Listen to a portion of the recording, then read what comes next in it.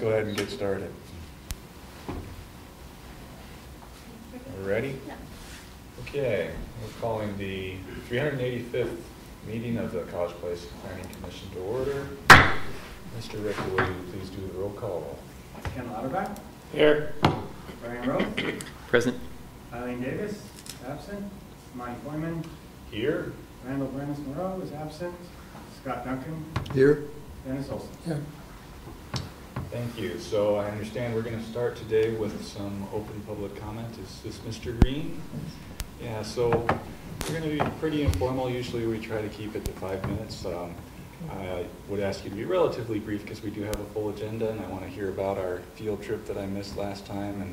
And uh, so, um, but yes, please, please share your thoughts and again, start with your name and address. Thank you. Stanley Green, Field Box 95, College Place. And I've lived in College Place a total of nearly 30 years in two different blocks of time. And um, I'm a graduate of the Edward F. Cross School here. Um, I have an academic and professional background in transportation engineering, so just to give you some background as to why I'm focusing on what I am. But, so um, I was one of the two um, non-planning commissioners on the tour last week, which I found very informative. And I was a member of this commission in the mid-1990s when we were adopting the comprehensive plan to be, make it in conformance with the Growth Management Act. That was also when um, the Meadowbrook development was coming up and a few other major projects.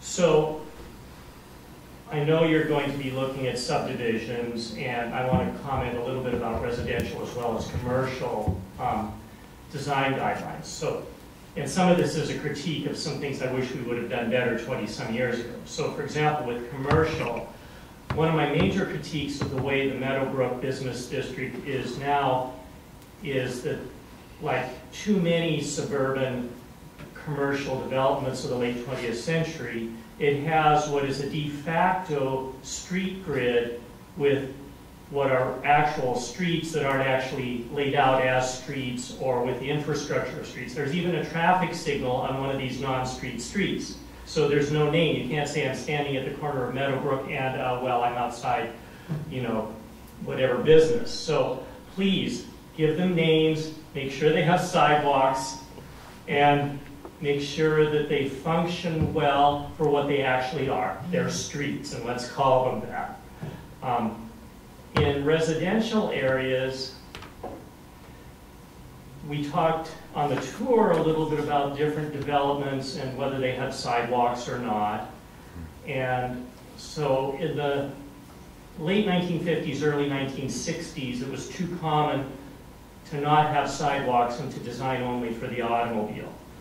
So for example, over around Tremont, Ivy, and A Street, that's an example of that at the west end of A Street. And I've spent a lot of time in that neighborhood over many, many years. Um, family and friends live there. I live, I live nearby many years and go there frequently still. I don't feel entirely safe walking there because of the way the sight lines are.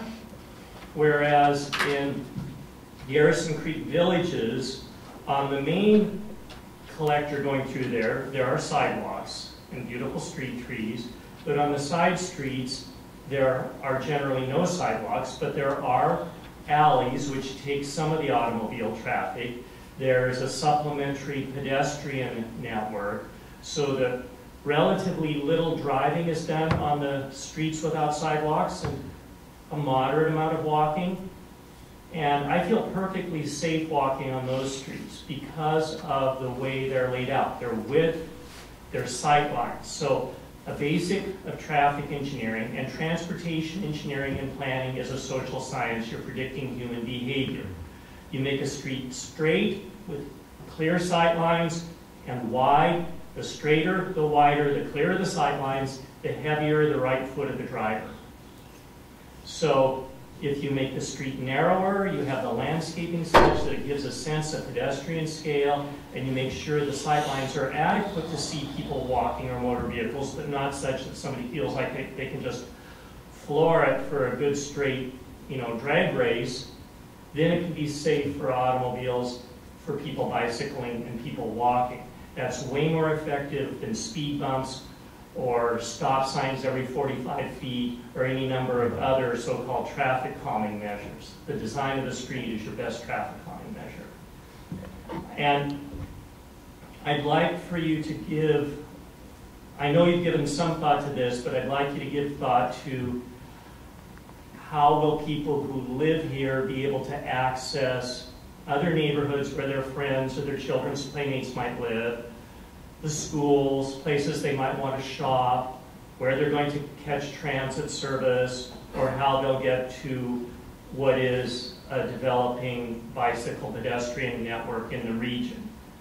So that the distances that a person has to walk or bicycle, A, are not too far, and B, are very attractive. And I'm sure you already know this, but those kinds of facilities are not merely recreational facilities, they're also transportation facilities, they're public health facilities, and they're economic development facilities. If you look at any real estate advertisements anywhere, proximity to good walking and bicycling trails is something that any real estate agent is going to say is a positive feature of this home or this neighborhood. So it's an investment in the community's future. It's not a waste of money or a waste of land. And, you know, again, I'm sure you know this, but I tell you, I had to really try to be persuasive on this back in the mid-1990s and earlier in my career. So I, I'm, I'm just really encouraged by the overall direction you're taking, and I just want to really cheer you on to make sure that there's really good connectivity for people walking and bicycling, connecting to transit, connecting to where people want to shop. I'm sure many of you have heard of walkability scores. There are places on the internet where you can put in a neighborhood and see what the walkability score is. And there are a whole lot of people these days who want to live someplace with a high walkability score. So let's keep moving forward on making College Place a place that's attractive for people, that has good automobile circulation, but also has really good healthy circulation for transit, bicycling, walking, and our friends and neighbors in wheelchairs. Thank you. Thank you. I actually have a question for Sure. you. With your expertise in transportation engineering, could you talk to us a little bit about collectors, major collectors, arterials, the speed that they should be, and possibly maybe not having sidewalks on some of those streets? Okay, so just as a wide street street makes the driver's right foot heavier, a higher classification in that scheme can make city officials drool over the additional funding they'll get from state and federal agencies. Hmm. And so there are too many streets that are classified too high on that scheme because of the perverse incentives that have been offered for decades by state and federal agencies. And, and I'm not saying anything about any specific individuals in the city of College Place. This is a general trend. I could give the same comment in any planning commission across the country. And so certainly if it's something classified higher than a residential street, it absolutely should have sidewalks regardless of the other design criteria.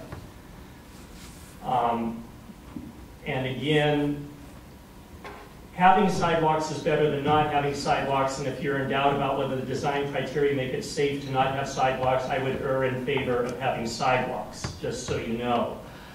But like I say, if you haven't, I really encourage you to walk on the side streets in Garrison Creek villages and walk on the paths there and get a sense of whether you feel safe walking there. And think about what are the characteristics that make it feel safe. And if the developer is coming up with those kinds of design criteria, then maybe it's okay to not have sidewalks. But also, go for a walk on the west end of A Street and up Tremont or Ivy or something like that. And especially the curve from A to Tremont. Walk both directions around that curve and think about which side of the street you want to be walking on and why, because of sight lines. So um, I really encourage people to get out and do things firsthand. And by the way, if you haven't ridden buses around this community, get out and ride buses and get a sense of what it's like to wait for a bus in different places here and what kind of signage exists in different places, because that's part of the overall mobility equation of this community. Thank you. Mr. Rickard, may I ask about the history of, of Meadowbrook with the street naming? Well, Meadowbrook was in place prior to my um, coming to college place, but, um, They're, they're actually, we're, we're in review of a binding site plan for the vacant portion behind the, the two strip malls there. And their, their proposal is for that intersection to continue the street, the street, uh, to continue through to Larch. Um, And so I- I'm, I'm gathering that we likely will have to come up with a name for that because Stanley's correct, it, it- especially once it connects through to Larch, it will most certainly function as a, as a de facto uh, street. Already does. Yeah, yeah. Okay. So is that, that's just kind of a,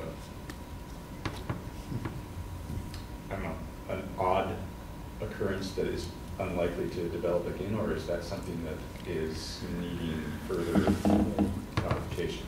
Um, I think the location of the intersection developed from the requirement of, from WashDOT for the entrance into Walmart to be a certain distance from the intersection of the highway and Meadowbrook.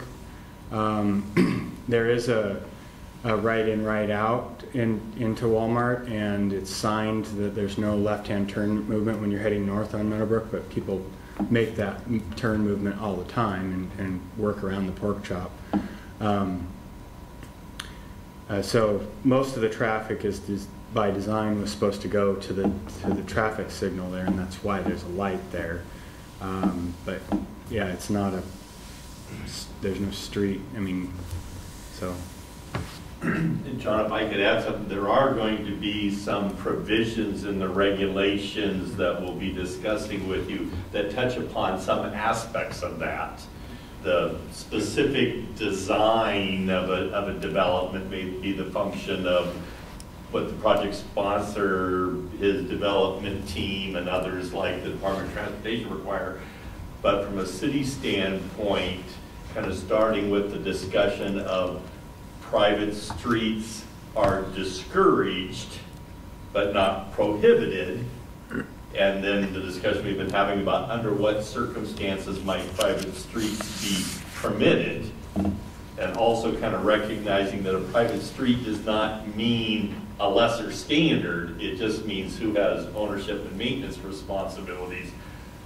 We could get to the point of things like binding site plans, commercial developments, where streets and internal access and parking lots, the lines get a little bit blurred, but making sure that adequate provisions for safety are addressed, regardless of who's ultimately responsible for plowing the snow, for instance, is an important consideration. So it's kind of a, a long trail, but we will be touching upon some of the things uh, that you raised and the speaker raised when we go through the, the regulations. Thank you. And sorry to keep chasing this rabbit hole, but where did we actually end up within the urban comprehensive plan on private streets? Is it, was it worded as discouraged, or did we end up prohibiting that? discouraged. Oh, discouraged. All right, thank you. Um, Any other commissioner comments before we move on to our regular agenda? No? Okay. So we'll do the uh, consent agenda, which is the approval of today's agenda as well as the minutes from the last two meetings, uh, both our regular one and our field trip. So are there any comments or questions about that? If not, we have a motion for approval. So moved. Uh, Moved by Commissioner Duncan, Second? seconded by Commissioner Olson. All in favor, aye? Aye. Opposed? Okay, I heard three ayes. Is that right? Abstain. And we'll have, can we have two abstentions? Or do we need to have four for the, for the motion to pass? Because- I'll, I'll share that I'm not comfortable approving a field trip minutes that I did not attend. So if you'll approve the meeting you were at, I'll approve the meeting I was at, and then we'll be good. Okay. All right. There's, there's nothing in the bylaws that, uh, that prohibits somebody that was not in attendance from voting on approving minutes. So, Yes, you have shared that before, and I stand by my statement that I'm not comfortable Okay, with and- such, what I was not in attendance of. But between Brian and I swinging our votes appropriately, I think we're, we're good there. So did we catch all that? Okay, thank you. Thank you. So let's move to our active agenda. Um, The first item being subdivision regulations. Is that going to be you, Mr. Dorn? Thank you. you want want me to move this up a little bit closer? Oh, that's fine, I think this. Thank you, Mr. Chair. For the record, my name is Greg Dorn, and I've been working with you in updating the comprehensive plan and now updating the city's development regulations. The first item we, on the agenda tonight is we just wanted to spend some unstructured time providing commissioners, guests with an opportunity to share your thoughts and impressions and what you found noteworthy during the tour. And uh, following that, we have some specific questions that we'd like to ask you, but we'd like to start with uh, just an informal discussion, invite any of the commissioners to um, um, share some of the thoughts and impressions you had. The purpose of the tour was to provide an opportunity to see subdivisions of different age or vintage, subdivisions that were approved according to different standards, and subdivisions uh, that were approved by different jurisdictions. So an opportunity to see City of College Place, City of Walla Walla, Walla Walla County, had opportunity to see some relatively new subdivisions and some that have had an opportunity to age for up to 100 years. So we saw a pretty uh, full continuum. Um, I'll share just one observation that I had, which was I found the, the tour extremely well organized and, and uh, tremendously insightful. I saw a lot of things that I found very interesting.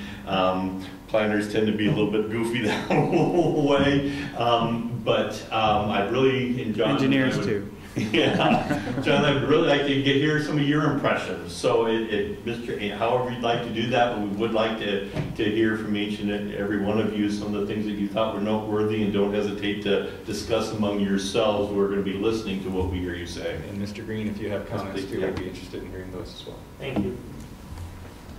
John, you want to start us off? Oh, well, I, You don't want to bias the. Yeah, I don't wanna bias That's that's thoughtful of you, very good. I think one of the, one of the neatest things that I did see and that was pointed out regularly was the area for um, planters, or the, the- the planting spots. And I think especially on an arterial, I think that should be a vital component to what we do. Um, It seemed to make all of the neighborhoods we went in there that had trees and those planting spots much nicer neighborhoods. And much more inviting.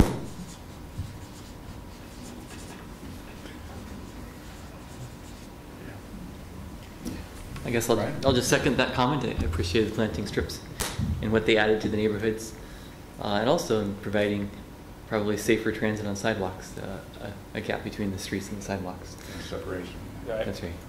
Uh, something else I was intrigued by was was on-street parking and uh, properly providing for it. I, don't know that I saw a particular neighborhood that was. I- I, guess I didn't design identify a design feature that enabled or or did a poor job of that. But I think it's important to consider.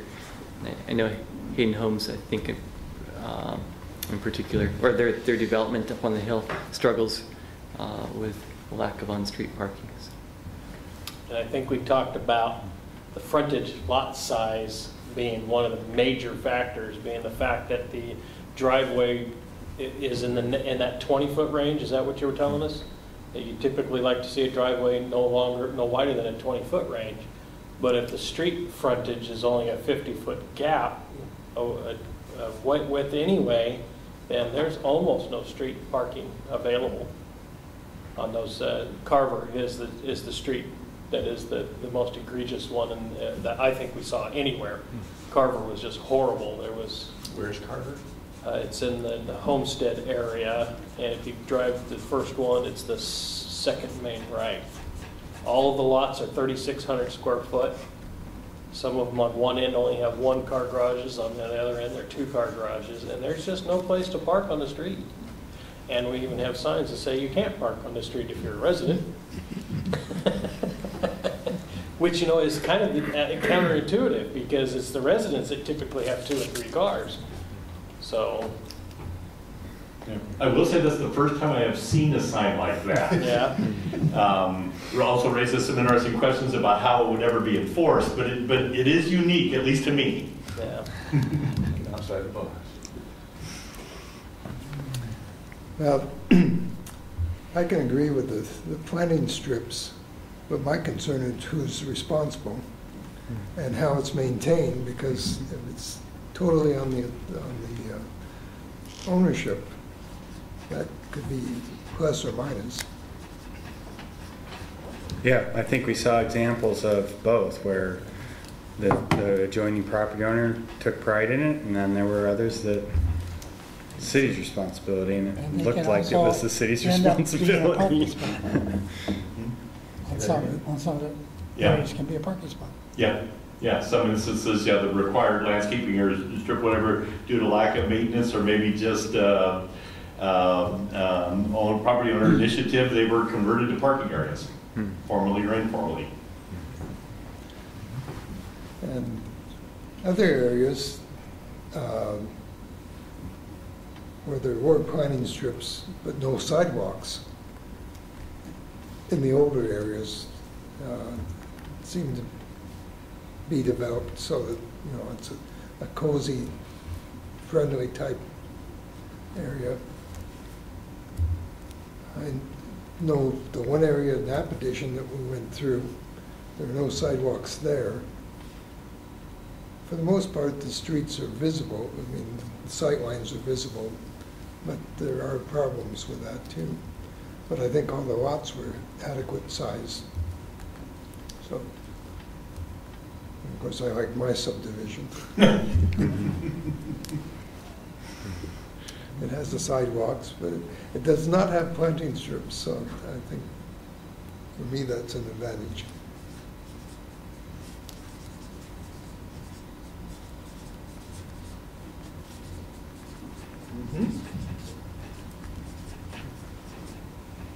Yeah, please. Thank you. Um, Stanley Green, with regard to planting strips or no, and who has maintenance responsibility. This comment is especially true in a commercial district.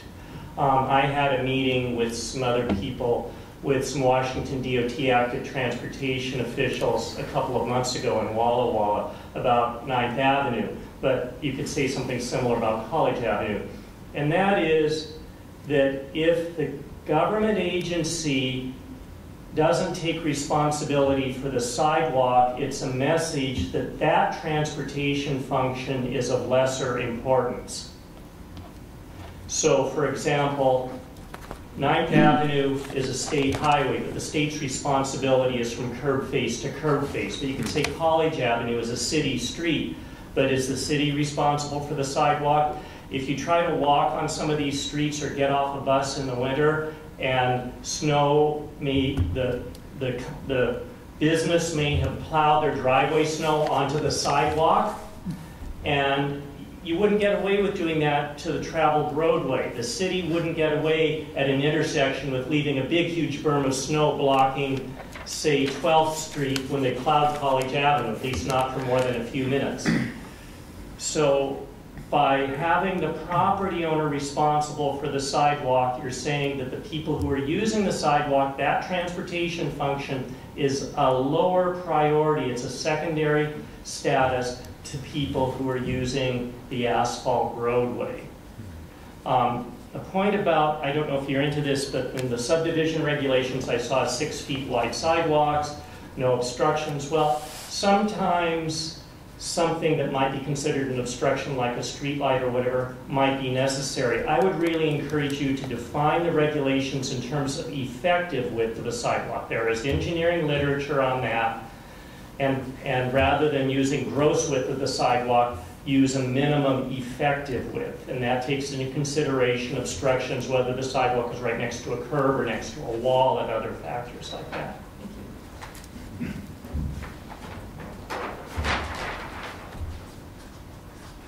Other thoughts and comments? And some of these points we're going to come back to and further discuss, but like I say, we want to get, what did you carry away from the, from the tour?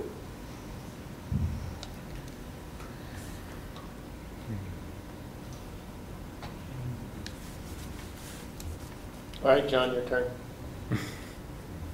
Well, uh, oh, go ahead, Scott. I was just going to comment, we saw some vacant areas without sidewalks within the development that had sidewalks. Um, Bliss was one, I took the, the liberty to go the- to the one that we didn't go to. And there were at least two lots there that are not fulfilled with sidewalks because there's no, no building on the properties at this point. So I notice in the regulations, you're trying to, to close that gap, uh, which I think would be well, because we walk in Bliss, and so we have to go out in the street to, to walk around that property. Yeah, we're definitely going to talk about that once more. Other comments? John, a couple, any impressions you want to share? Well, I think I, I shared a lot of them as I kind of guided the tour as we went along, but and you're echoing a lot of a lot of the um, the same things that I mentioned, and um, I don't. I I see the public realm as an investment in the community, and it reflects on uh, the adjacent properties. So um, if, if you have a well-built public environment, I believe that, that you will, over the course of many, many years, have uh, stronger property values. Um, and I think you see that if you go into some of the older cores of Walla Walla.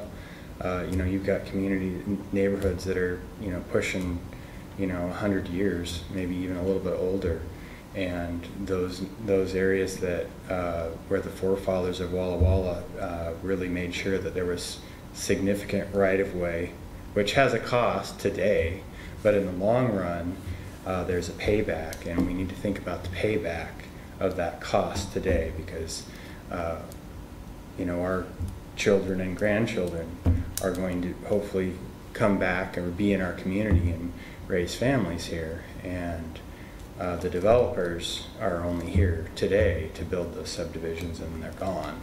Um, we're, we're left with their legacy. And so your legacy could be the standards that we set. Um, so I would encourage you to think about the long-term cost, not just today, because that, and that wasn't brought up by any of your, your comments today, but I, I often hear, well, we have to think about, um, you know, if, are the developers going to build here if our standards are too high. And I think there's truth to that. If you go, you know, totally bonkers, then, you know, if we ask for gold streets or, you know, they're not going to come. But um, I think there's some there's a balance that we need to we need to come up with. I believe that I saw a much more personal view of a, a private owner's property on streets that had trees, that had the, the planted strips, that had wide enough roads to where they were comfortable to drive on regardless of who was parking in the street or not. And I don't care what age we were at, whether it be a hundred-year-old um, uh, street or a 20-year-old street. It seemed to be that way no matter what. The homes, people just took, take care of their stuff better when it looks nicer overall. And, uh, and I, I know that I, I beat the small minimum lot size, the small lot size thing a whole lot, but I think Carver is a perfect example of what happens when you allow lot sizes to get too small. It's a junky street, and it's almost new, and it's already a junky street. That's all. Thank you. Any other thoughts or comments? We're going through some stormwater changes, regulations. Is there requirements that that entails that would also require curb and gutter, or is it still possible that we would develop uh, residential neighborhoods without? Um, so Greg and I met with Robert this afternoon and that was a discussion and um, there are many ways that, you know, you can deal with stormwater and there are many street standards that you can come up with, uh, that work with that. And, and one, um, one thought we are contemplating is, is the use of that, uh, planting strip may also, depending on the soils and and the design, it could be a swale. Um, but I, but I wanted to make sure when it, that we would also be able to incorporate trees into that. And obviously trees in the bottom of the swale doesn't work from an engineering standpoint on treating water. And, but um, if there is the option to come up with a standard where there is a raised section, you know, periodically as you go through the streetscape where you could have those trees at a higher elevation. Um, and also, staff believes that there is a distinction between an urban standard and a rural standard, and um, and there are also protections that curbs provide, and it, it seems to be that, uh, at least from staff's point of view, is that we want to preserve the urban standard, which is generally a curb. Um, you can have, you know, uh, scuppers in that to allow water to flow into treatment swales and whatnot, but the rural standard really is, you know, you don't have, you don't have the curb, you have ditches and, uh, and in most cases, you don't even have sidewalks when you get out into the county, so, Well, and if the sidewalk is there, it's the same level as the asphalt. right. Also, part of our discussion was that let's be clear about what we're trying to accomplish. If we have a specific standard in mind or a specific outcome that's desired, then let's be clear about what that is. If we are, see alternative paths and they're okay, then let's make sure that we're okay with the alternative paths because if so- we give somebody three choices and they pick option number three and we say, oh, we don't like that choice, then let's not give it to them. Otherwise, we need to accept it. And we saw some of that on, on the tour where we saw things and we maybe looked at it and said, ah, that's not what I would do to landscape that strip. Well, we either have to accept it because somebody did something different, or if we don't want it that way, then say it's not acceptable. So we've had some discussions internally about what is it that we're really trying to accomplish, and some of those questions we're gonna put to you as we go along. Yeah. Another thing I would add to that conversation is that from Ro- our city engineer, Robert Gordon's perspective is the less standards that he has, the easier it is for him, the one person that's reviewing these plans, to, to go through that process and also to communicate that to the developers. Uh, developers do like consistency, so if you can say, this is our standard right here on this page, or uh, it, it's a lot easier for them to develop their uh, portfolios for whether or not a project's going to work for them, um, rather than say, well, here's the à la carte, and, and then, like Greg was saying, well, but we really don't like this one here, and, you know, Yeah. Stormwater is the one area where what happens in the future may represent a departure from what you've seen in the past. Because the state has new standards and they're imposing them on jurisdictions and the city is gonna be in- instituting a stormwater utility. And so there are, is gonna be some changes to regulations in the stormwater area that will definitely ripple through. I question on the same line. Yeah, I'll have one more. Go ahead. One more finishing statement for me, I guess, and Oh, then, go and then. I'll certainly turn it over to you. So, yeah, I, I like what I'm, think I'm hearing from our response in, in that regard. And I, I like the curb and gutter. I like the fact that it provides a definitive boundary to the roads so that we don't have the undesirable parking on the fringe of the street impacting the potential landscaping. I like the separation it provides for pedestrians there's a sidewalk there. And I think that the stormwater changes that we're currently going through are an opportunity to guide our development in that aspect as well. So, um, now that I've said my piece. Well, first Please, off, I'll second that. I think everything he said is accurate, and to my opinion, too. I have a question about stormwater treatment in the old part of town. Everything from college to, to large is anywhere from 70 to, you know, 50, 60, 70 years old. What kind of stormwater access, is- how do you deal with stormwater in those areas currently? Well, currently where they're, where, where we have catch basins, most in the old core, they are, they all somehow make their way to the creeks, um, through pipes.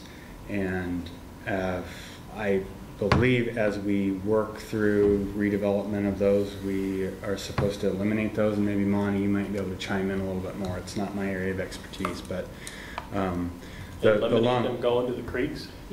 Eliminate surface water outfall, yes. Yes. And the desire is to infiltrate that. You- They, the they- you so need to have treatment prior to release to, to streams. Yeah. Uh, Now, there's a problem, Yep, Yes. Mhm. yep. And that's, I take it, some kind of genius idea from the state level? Yep, Federal. Oh, it's even worse. federal and trickles down. Ugh. Washington State administers that uh, Clean Water Act requirement for us. And it's mostly unmandated, unfunded mandated. Unfunded mandate, not unmandated. Now, It's- there are some, uh, to jump ahead and then we'll come back, but there, are- there are some factors that, that kind of drive that.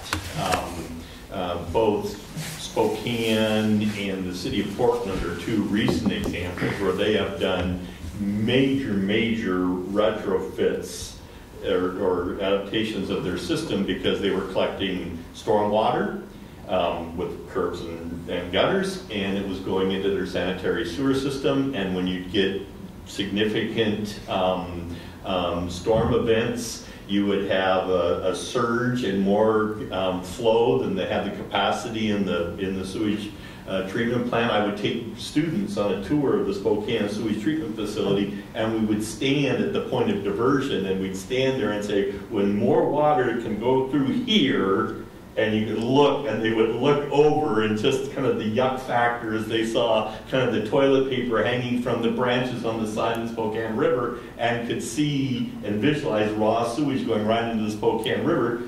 That kind of made an impression to them. Or in the case of in eastern Washington, where we tend to have more inclement weather and we use salts and chemicals, collecting water from the street and discharging right into creeks would be problematic. So there are some environmental factors, but there's also the reality of the development that's already occurred and the investments that have already been made. And you know, kind of, how do you make all of that work? That's going to be the kind of the, the new element in this discussion uh, for the city because some of the things that we're able to do in the past won't be able to do. Can they be done in a way that is kind of reasoned and balanced and fits within the overall thing? That might be where some of the challenge is. Any other things? Did anybody have kind of a, as we went through the valley and did our circle, was there any kind of impressions as we went through that kind of came full circle? Did you see any, trying to not lead you on too much or, but, I think you better start leading. Because I ain't got a clue where you're coming. well, Carolyn, are you on the trip? You have anything you'd Yeah. like to share? I'd like to. yeah, you hear run the you. trip. Please. Um, I noticed the planting strips also, and what Scott was saying about the vacant lots and how the sidewalks just stopped at that point. Um, I noticed how um, narrow the streets were in downtown Walla Walla, where we were at.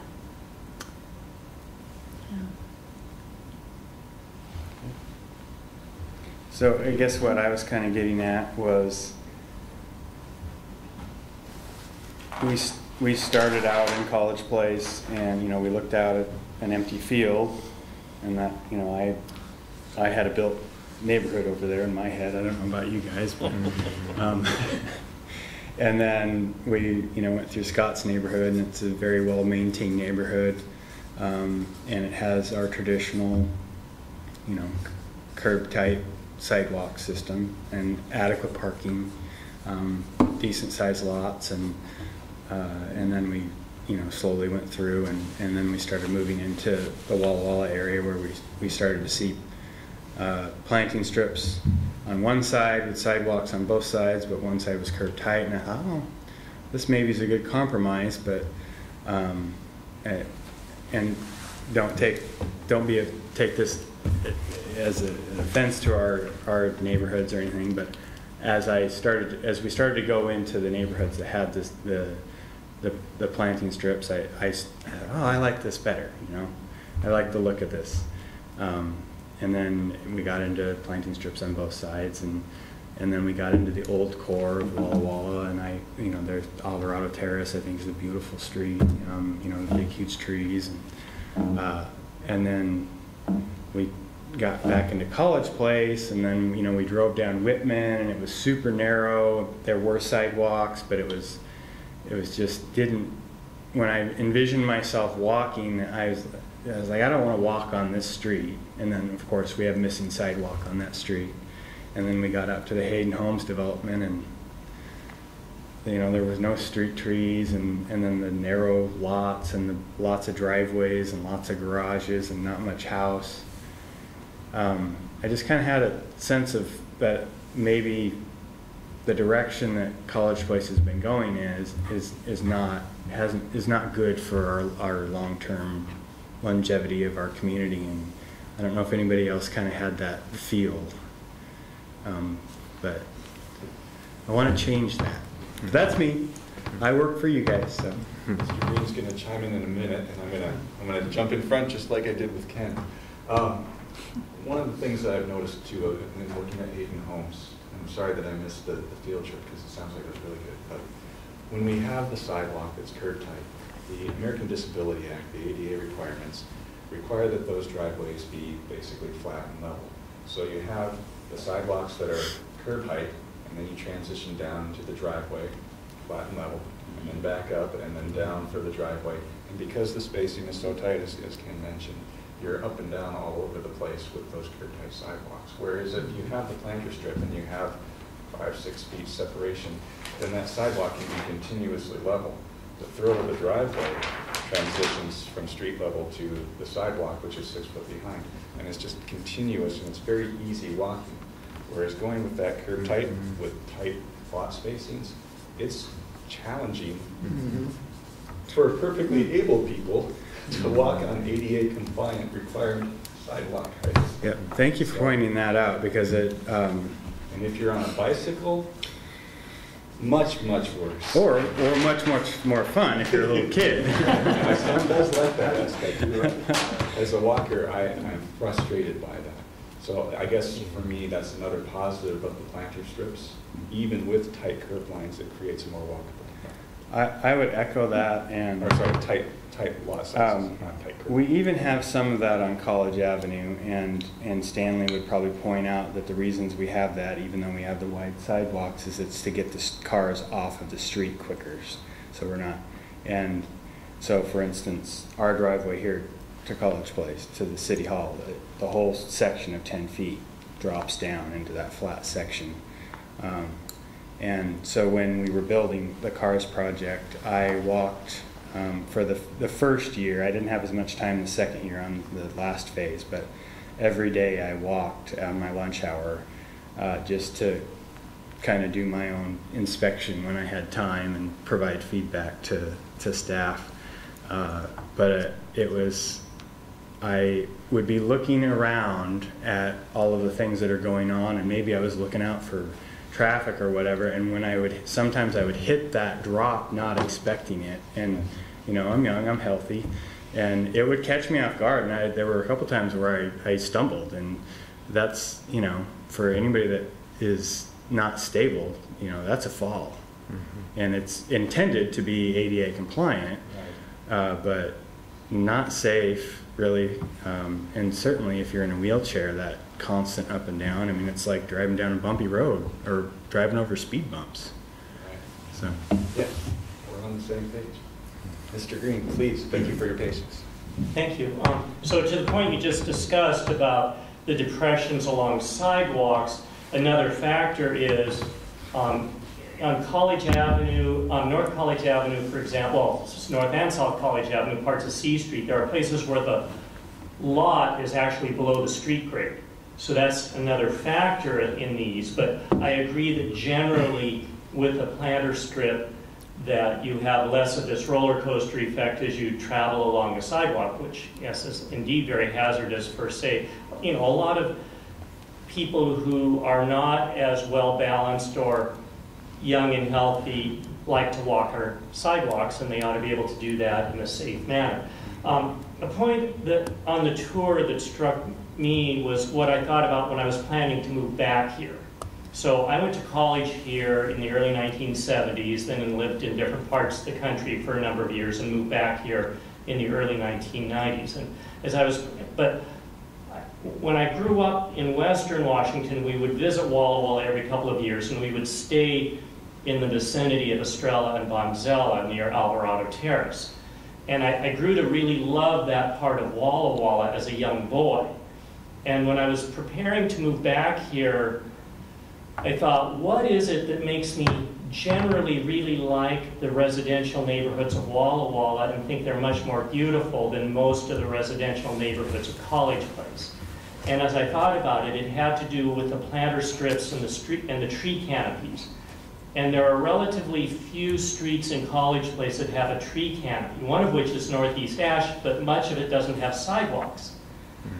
Um, and, and so just the aesthetic and what has happened with those neighborhoods over some of those neighborhoods that we went through i think one of the plats you shared with us was from the 1870s i mean some of them are literally 140 some years old. And yet most of those neighborhoods have done really well over all those many many decades including huge changes in the economy big huge changes in transportation because a whole lot of those neighborhoods were laid out before automobiles existed or when they were very scarce so Yet those neighborhoods laid out way back then have continued to be very successful through all these changes. And I think we can design for the future by looking at what's been successful from the past. For those of you who haven't seen it yet, um, I really encourage you to read Riley Clubb's op-ed in the Union Bulletin a few weeks ago. And he talks about enjoying walking through old neighborhoods of Walla Walla and the different housing types like I encourage you to walk or bicycle down Palouse Street, for example. There are courts, that is, little cottages set back from the street. There are big, gigantic mansions. There are modest-sized bungalows. It's not all the same lot size. It's not all the same development standard. And as far as I know, Palouse Street never went through blight through the Great Depression or World War II or the aftermath of the war or anything like that. I think it's possible to have a variety of housing types in a neighborhood and have the neighborhood be successful over a very long span of time. Mr. Chair, I think that's an excellent transition to maybe some specific questions that we'd like to, to, to pose to you. And um, by way of, of context, a, a couple of comments. Based on the comprehensive plan, we've proceeded with updating the development regulations with a series of assumptions. And I want to review some of those real quickly just to give us the context for the, the discussion of the specific questions. One of them is, is that the development regulations currently provide for subdivisions, which is the creation of five or more lots, short plats, which is the creation of four or fewer lots, and that there is an alternative approach to short platting known as a planned unit development, which at least in theory is to provide opportunities for more innovative approaches and more flexibility in design. According with the comprehensive plan, we are proceeding on the assumption that the alternative provisions allowed under the PUD would go away and there would be one set of standards for subdivisions. And then there, and, and, and so whatever that is going to be, whether it's going to be a single set of standards with uniformity, or whether there's going to be some flexibility as allowed under PUDs, or variances, whatever the case, there will be just subdivisions. or just short plats, but not an alternative universe. There will be one. So that's kind of a key distinction. We are also talking about, and we can certainly reserve the right that after we get to the very end of the discussion, go back and re-examine some of the assumptions. But one of the things that we're looking at is, is a series of revisions that would raise the short plats from four to nine, which is allowed under state law. The advantage of that, and the thought behind that is, is to provide some greater flexibility in terms of how smaller developments occur and to provide potentially a greater range of housing choices and options, as the comprehensive plan said, but to do it within, on a smaller scale, so do it within short plats. So there could be some flexibility, greater flexibility in standards on developments up to nine housing units. And so we were, we were looking at potentially raising the allowance there and calling the subdivision 10 or more.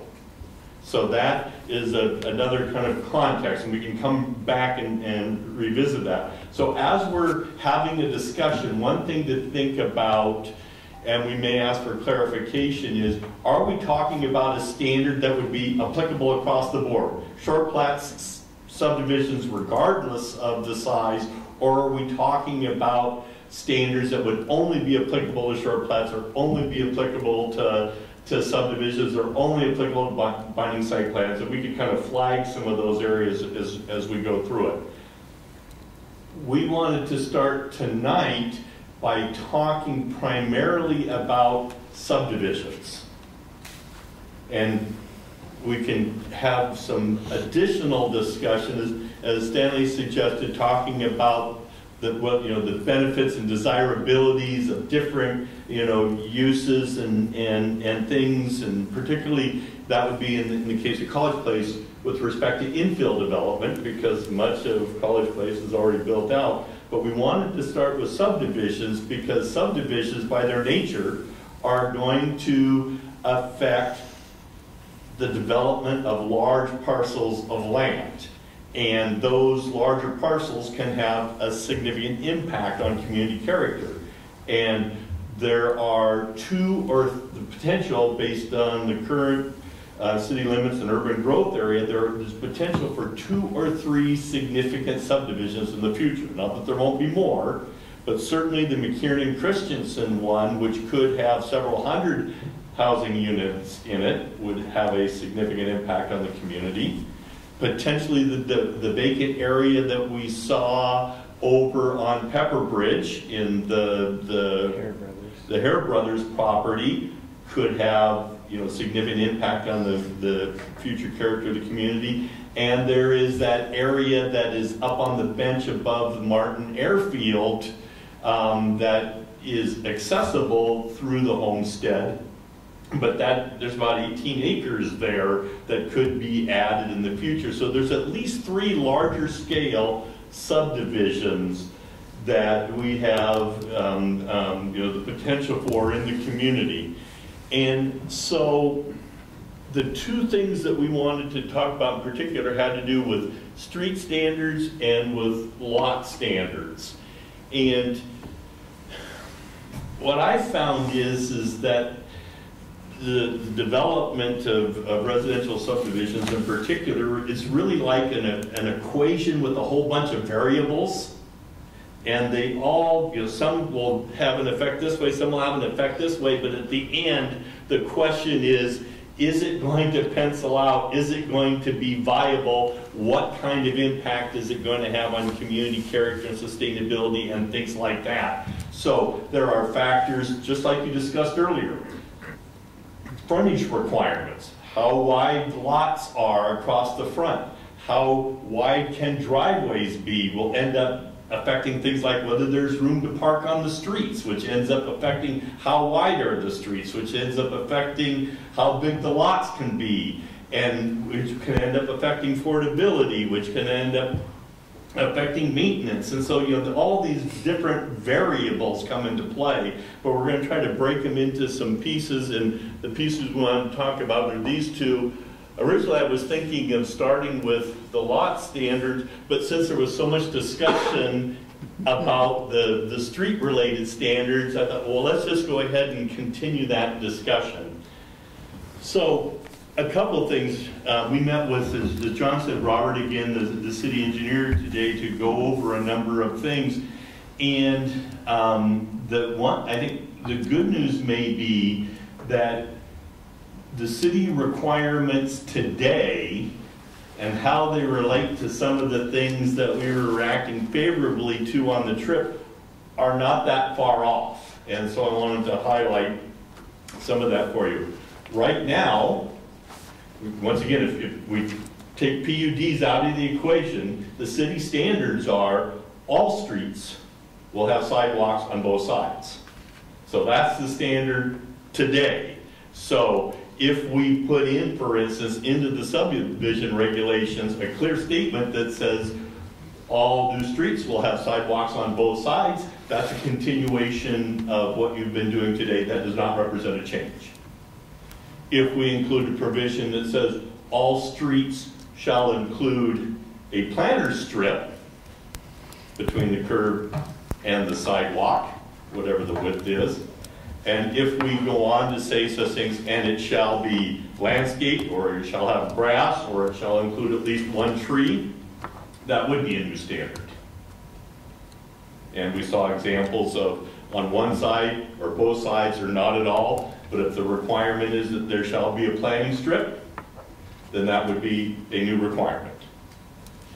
As I mentioned, the stormwater is, regulations are gonna be something that will come along with all of this and may kind of affect some, some changes, but we do have to think about how stormwater is, is going to be managed, and that does have a bearing on some things. If, for instance, say, well, why not slope the, the, uh, the streets and, and the landscaping so that it can collect stormwater and, and biofiltrate it. There might be some advantages to that, but there might be some trade-offs and things like, as John mentioned earlier, trees don't like to sit in standing water.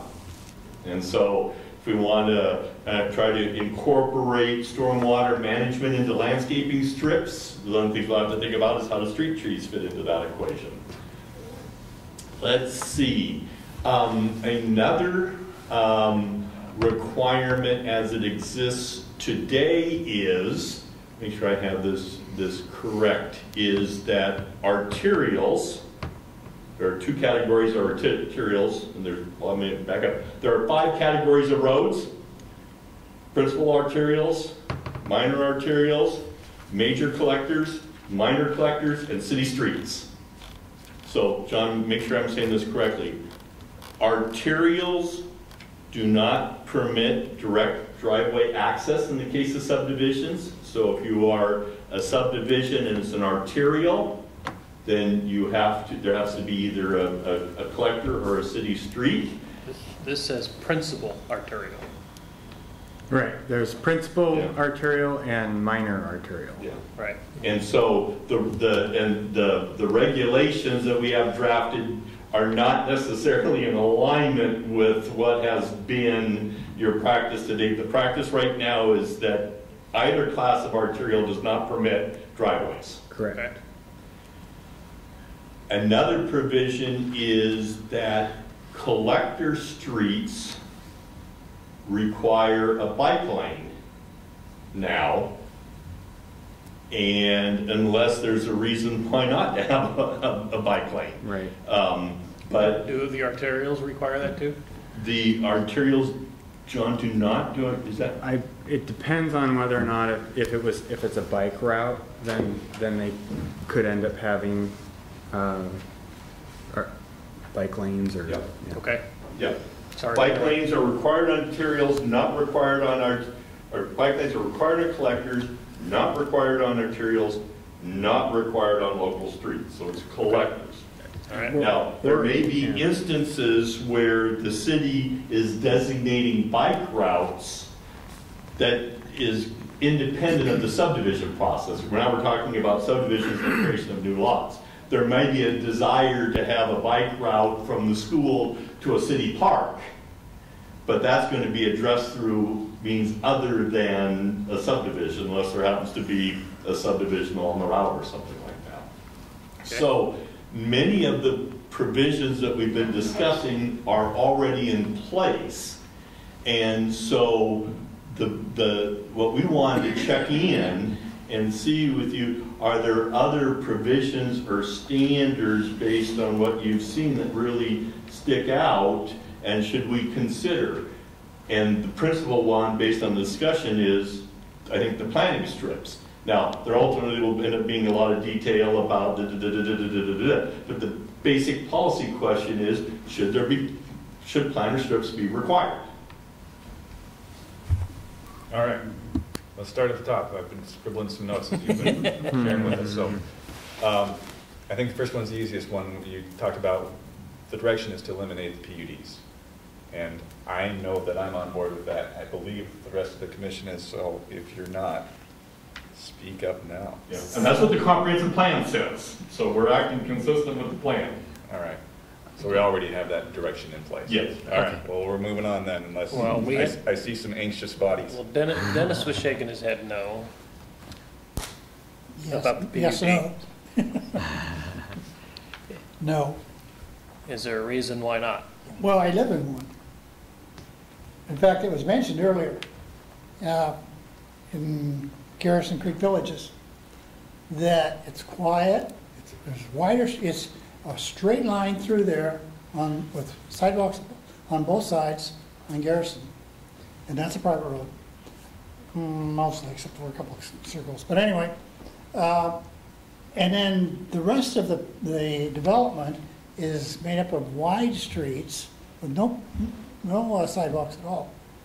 But they're not missed there because people don't drive real fast through that area. Hmm. You can walk through there very easily. However, if your neighborhood was built today, then the only change that would truly have to be made in your neighborhood is you'd have to have sidewalks on both sides of the street. True. That's, in reality, that's pretty much the, the biggest change. So, and, and, and also in reality is your neighborhood, are, we're talking Garrison Creek, right? Right. Okay, Garrison Creek has very few lots that are under seven thousand square feet. So removing the PUD would not have truly affected your neighborhood at all. It could still be in this, in the same way that it is, because the lot size is, is the P, is the number one PUD factor of getting down to, and the other PUD in our town that's causing problems is thirty-six hundred square foot lots. Imagine your neighborhood with thirty-six hundred square foot lots, even without the sidewalks, and what kind of a mess you would have. So that's, that's really the, the factor here is in the PUD, the only true thing that we're gonna change in that PUD structure is not allowing below a certain amount of square foot lots. Other than that, everything else is already kind Or, of in or we're at least gonna talk about that. That's gonna be what's in this discussion. Right, is going to be those things that affect the, the layout of the lots, the frontage requirements, the minimum lot size requirements, some of those things. That's going to be in this part of the discussion. Right. And like I say, we can reserve the right to come back based on something here and say, well, wait a minute, now that I know more about it, I want to alter. But for, for this purpose right here, what we're talking about is maintaining the requirements for sidewalks on both sides, adding a requirement that there be a planter strip, and the way that it is written now, and one of you expressed this, is, you know, the concern about maintenance responsibility, but the way that it is written now, it says that the maintenance of the planter strips is the continuing responsibility of the budding property owner unless an alternative method is approved by the city, such as an, a, um, contract by a homeowners association with a professional landscaping firm or something like that. But otherwise, it's the responsibility of the adjoining property owner is typically how it is done. And that's how it's reflected in the, the working draft that we have right now. back to you. Did you have a comment? I thought I saw some.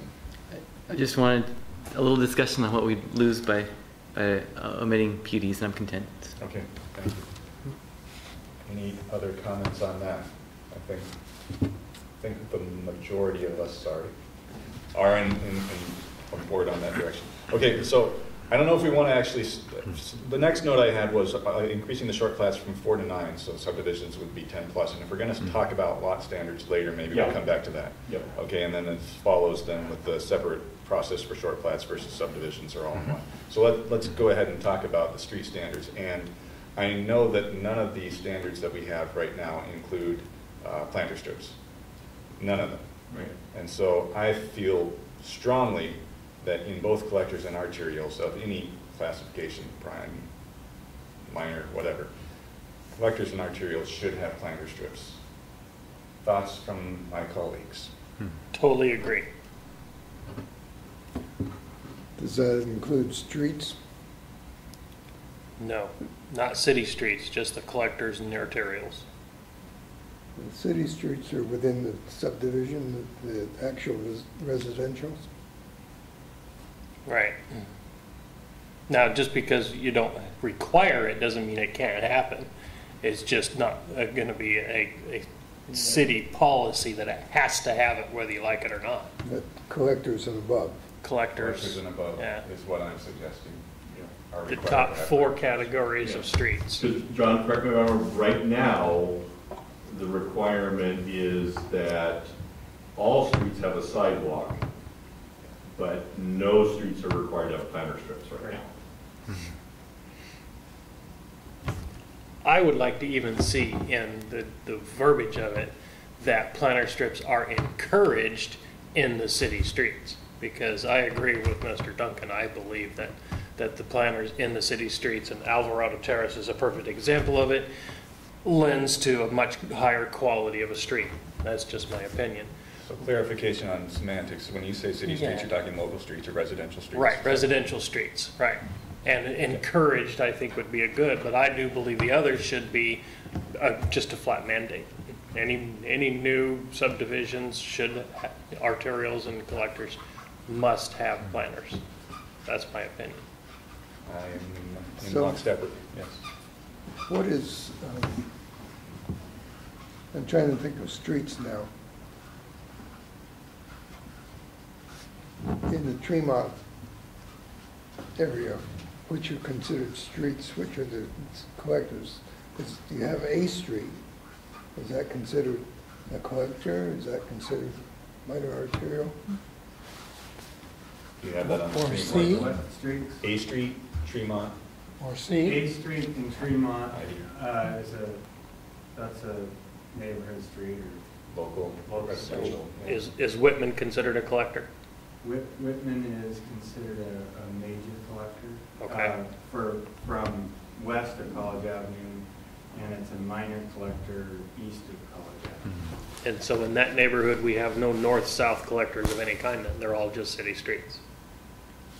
We have an, um, a Ash, Ash is considered a major collector from Fourth to Street. John, could you, you go bring the map up, yeah, up, just up a little bit, so we, Up- Yep, I want to see McCarran Christensen.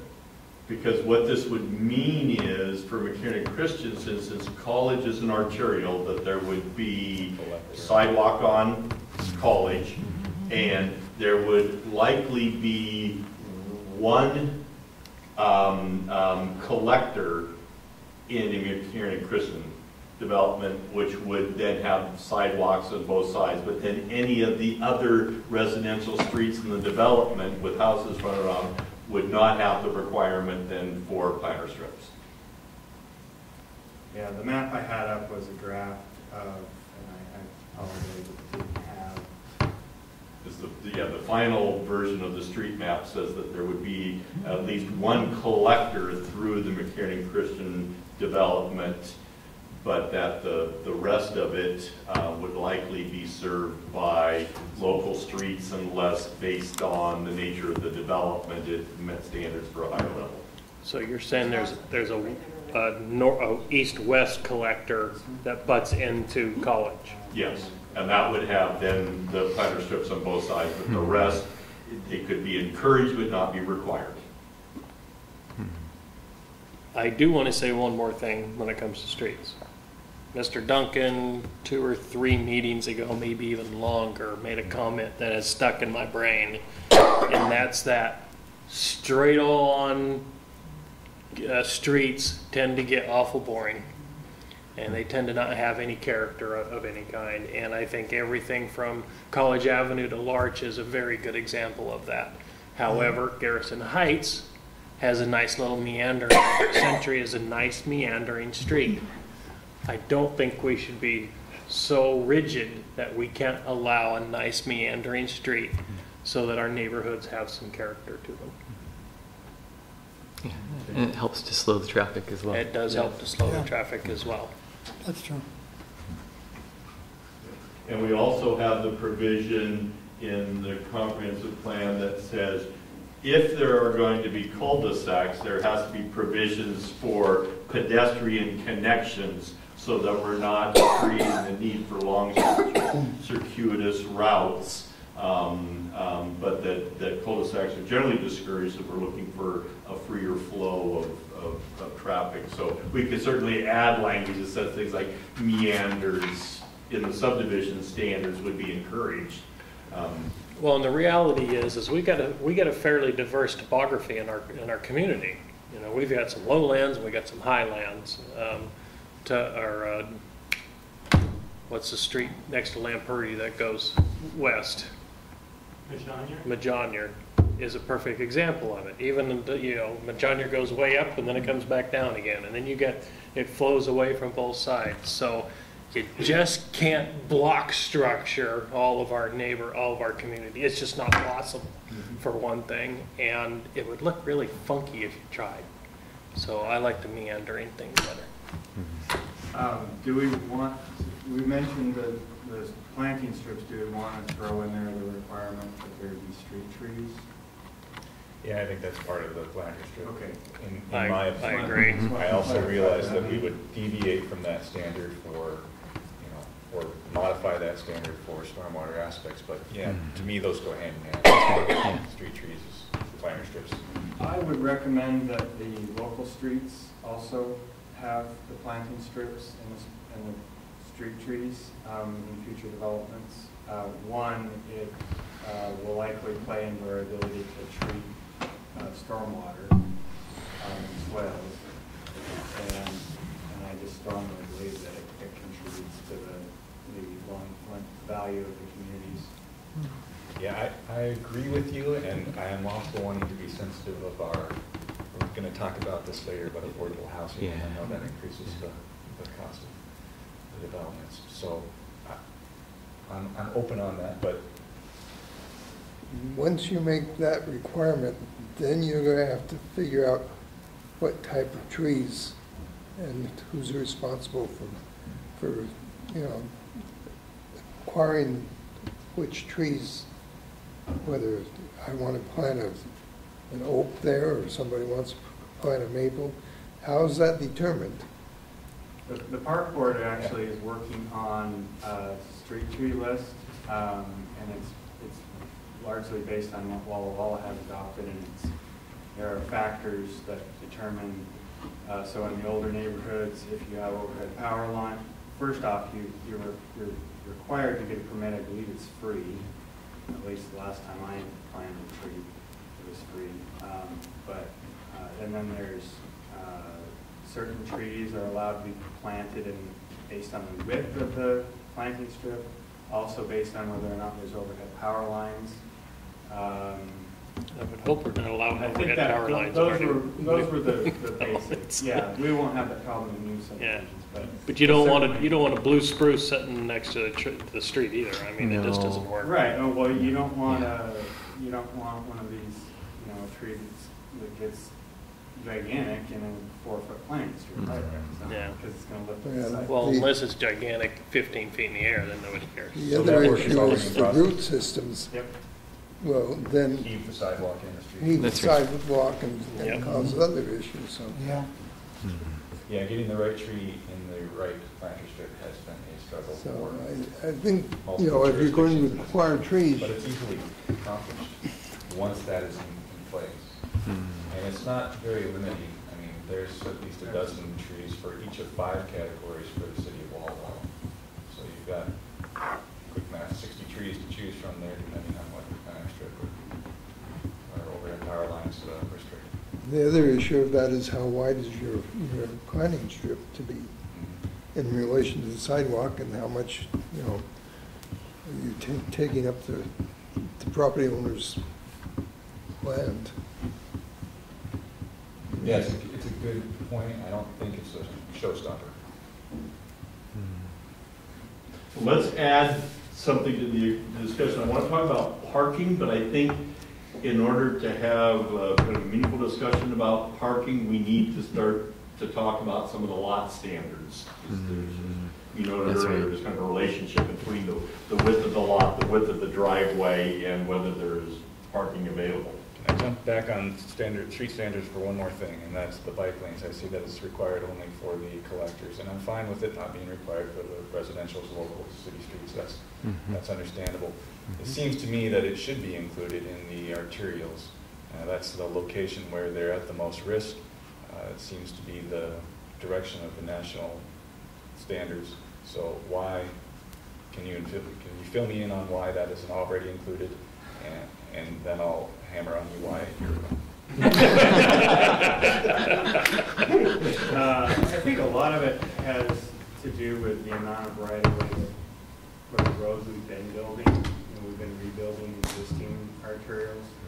Um, and, uh, also, we've utilized the multi-use path as an alternative. Um, and that has some benefits for leisure bicycle riding kids and families. Um, but most people that use the road bicycle as a, as a means of actual transportation, uh, most of them don't use those multi-use paths and they prefer to be in the street. Um, so we've been dealing with limited right of way. Um, We've also toyed around with the idea of, uh, using sharrows. And it's my understanding that that was taking some traction, but TIB is not a big fan of it. And so when you're trying to appease the granting agencies, you try to do things that they like. So I, I, it, it probably should be a standard when building, you know, new arterials where we have Which is very rare, right? yeah.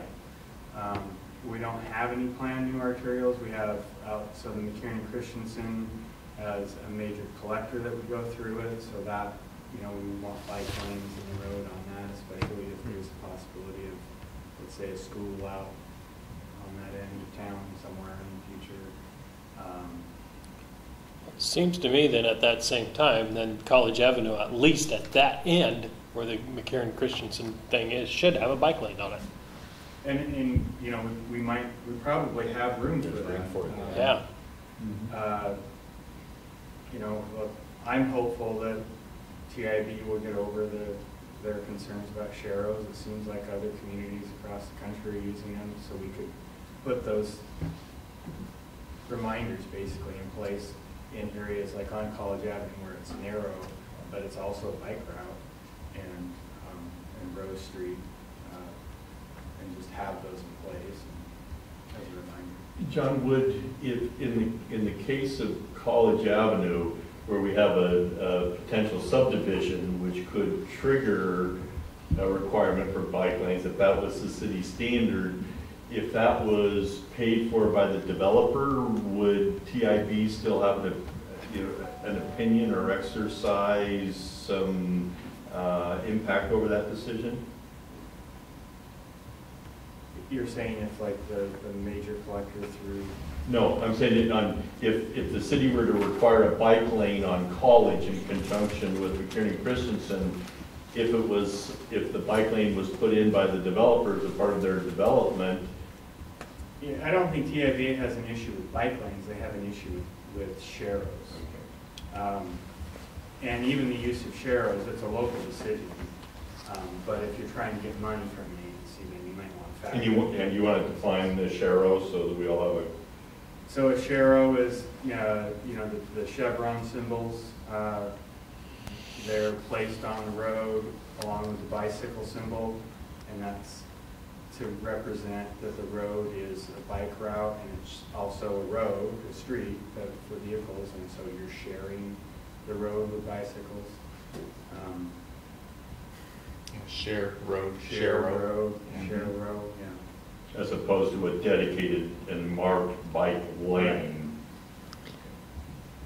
And with College Avenue being reconstructed recently, the, the opportunity for TIB grants there, I would assume is low Right. unless you have something in mind. No, no, and we certainly don't want to take away uh, parking from the economic development side of it. Um, Well, I'm not hearing anything that indicates that uh, staff is opposed to incorporating bike lanes in future arterial development. Is that correct? I'm not, no. Okay. I, and I don't. So think- let's- I don't think Robert is either. Are we thinking that is appropriate? I was shocked we didn't already have it, so yes, I'm totally for expecting arterials to have bike lanes. Full arterial would seem to be reasonable to have a bike lane. Yeah. Sounds like we have consensus. And I think we're hoping that we grow big enough to where we, we'll need a new arterial eventually. So, Thank you for letting me jump back. Yep, no, appreciate that. Lead us into the last Yep. one. So, with respect to the creation of new lots, then, there are a number of standards that also come in, into play. One is density, the poten- the potential number of lots that can be created, which we typically express in the terms of dwelling units per acre. And so in the single-family residential zones, the density is currently expressed as four to seven units per acre. And, um, and so it, it sets a maximum level. But there's another factor, which is minimum lot size. And right now, the minimum lot size for a subdivision is six thousand square feet. And if you do the math, seven times six thousand is forty-two thousand, is just under an acre. So the math kind of works, because in a single-family development, you're not gonna get seven dwelling units the acre, because you have to make allowances for streets and sidewalks and planting strips and bike lanes and, and all those things. So the, the minimum lot size can come into play.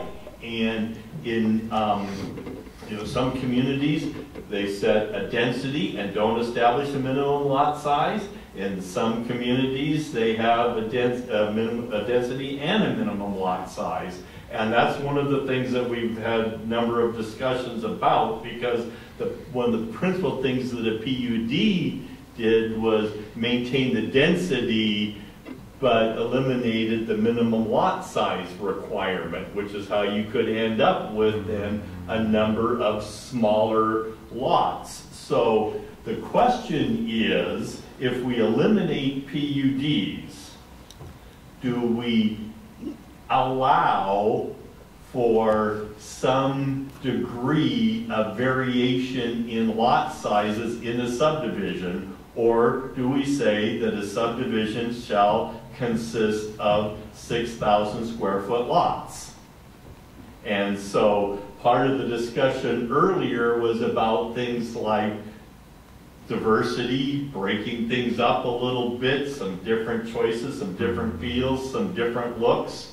Or is there a minimum standard that you shouldn't go bel- below? And there's no right or wrong answer to that, there's just different answers to that.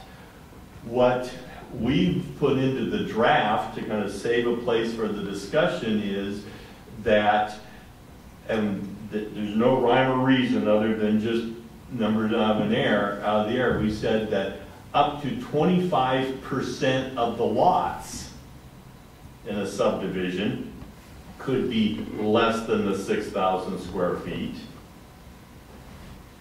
And we said that the frontage requirement is sixty feet in all cases.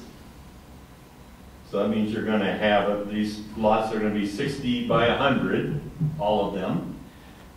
But if, the- under that scenario, then up to twenty-five percent could vary from that. But instead of saying that you could vary in any way you want, which is an option, we, for discussion purposes, we said, what if we limit the variation to twenty-five percent? Which means that you couldn't have a lot smaller than forty-five hundred, and you couldn't have a lot narrower than forty-five feet, but that would only apply to twenty-five percent of the lots. Now, those are all assumptions, those are all variables, that's what we wanted to have a discussion of, and then I think you can see immediately how that factors in and affect things like parking, because if we allow skinnier lots, there's less space for parking. Um, so that's one factor. If we don't have a standard, then we're like the PUDs, where you could have then a lot of small lots. If we say that the standard is a standard, then there's no variance, then you're gonna have a lot of uniformity. And so there's a lot of room within that to proceed.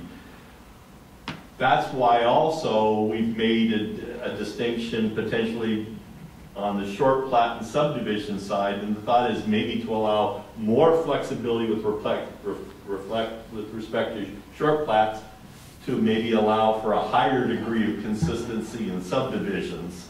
Um, but that's another variable, and we'll talk about that more. that again, I didn't follow Oh, that we would potentially allow more flexibility on short plats.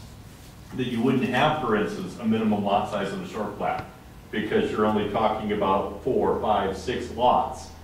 But in return, a much higher degree of conformity on the subdivision side. You, you, but to clarify that, you still would apply a density. Yes, Mm-hmm. So, you know, it's not a free-for-all, but there's more flexibility. yeah, you might have a larger lot and a smaller lot as opposed to two lots exactly the same size.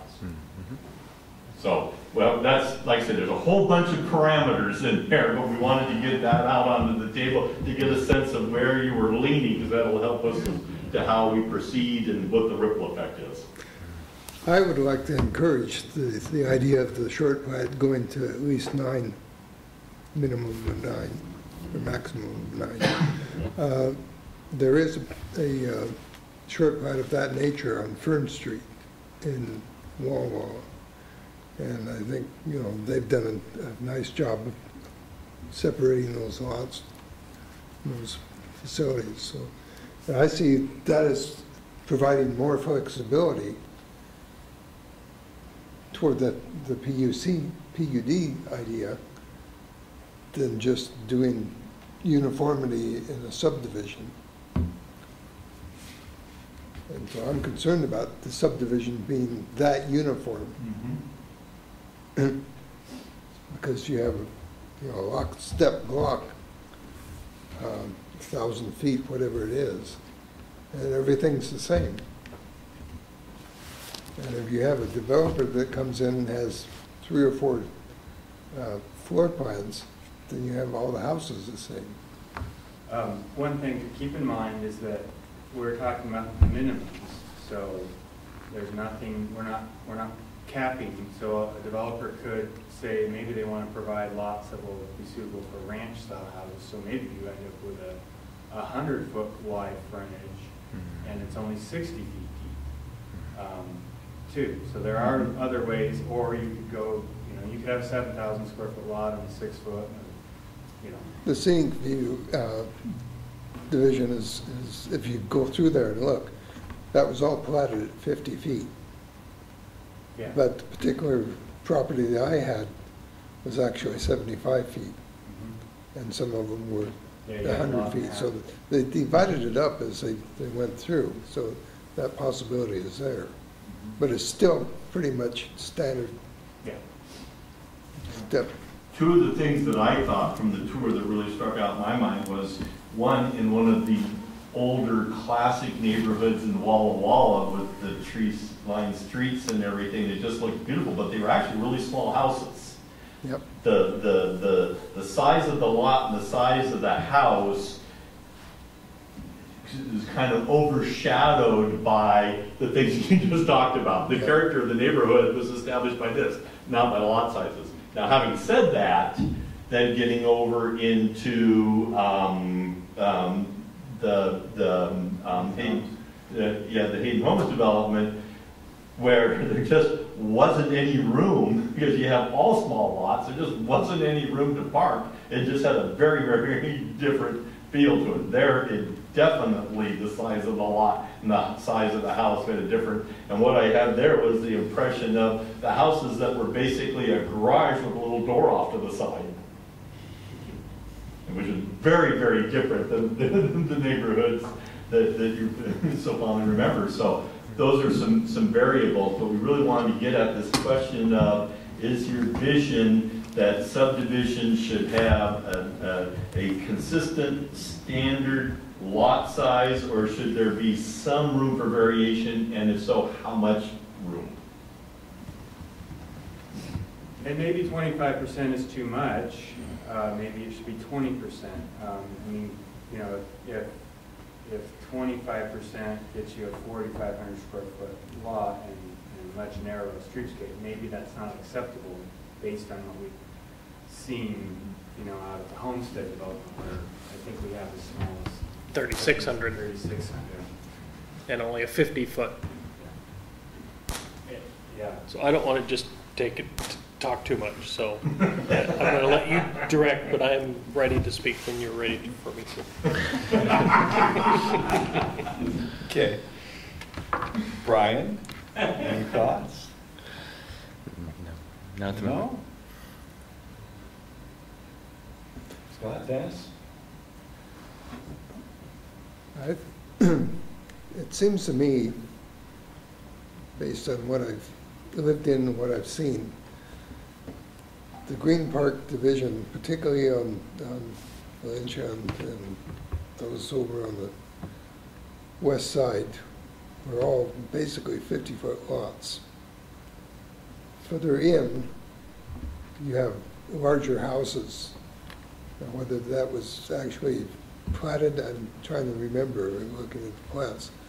If those were fifty foot and they just went ahead and, and Multiple lots. built on three or four of the lots. I know that happened in Scenic View. And you're trying to, to maintain a six thousand foot lot, I'm wondering if five thousand is too small. Okay. Well, if Monty wants to talk first, I'm going to, the lot I was on was, was hundred and twenty deep, and originally platted at fifty. They moved to enough to get seventy-five, which made seventy-five for the next one. But the, the lot that was next to me at the time was vacant. Developers came in and they actually built on the fifty on that one, and the other one was a corner. So they had two, two properties that were fifty they built on. So we had the, the full fifty. And they couldn't get the, the, um, a double garage on a fifty. You can barely get it on seventy-five. I'm just, I'm trying to, to- to- if we set a standard of six thousand, does that give us enough for a double garage? Or can we move back to the fifty and then let them spread out as they wish?